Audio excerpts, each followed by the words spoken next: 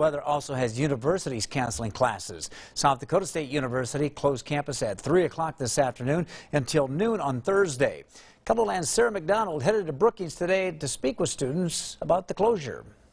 Students are bundled up as they make their way across campus today, braving sub-zero temperatures to get to class, including sophomore Trent Frankham. I live on the other side and I walked across today and I was, wasn't very happy about it. Fortunately, university officials made the decision to close campus due to the forecasted weather conditions. I was really surprised and happy that they called off school. So how will students be spending their time off from class? I'm not going to go outside. I'm going to be inside all day. So I'll be in sweats, sweatshirt, blankets. Kind of getting some quizzes done since, uh, I don't know, no class, so there's a little bit of time to do it. Um, but mostly staying warm for sure. Either way, students are looking forward to a break from classes, with time to spend inside.